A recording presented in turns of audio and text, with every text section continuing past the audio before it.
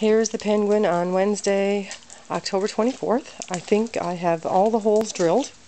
I'll display the back in a, in a second. All the holes drilled, I think. I'm going to turn it over and from the reverse I'm going to drill some of the holes to just get rid of any excess wood pieces and sawdust and show exactly what it looks like on the back before it's finished sanding. And here's the weather conditions today, Wednesday, October 24th, 2007.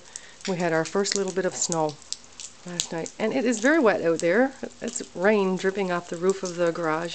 So I can't work outdoors. So I'm working under uh, hopefully temporary conditions here in the garage.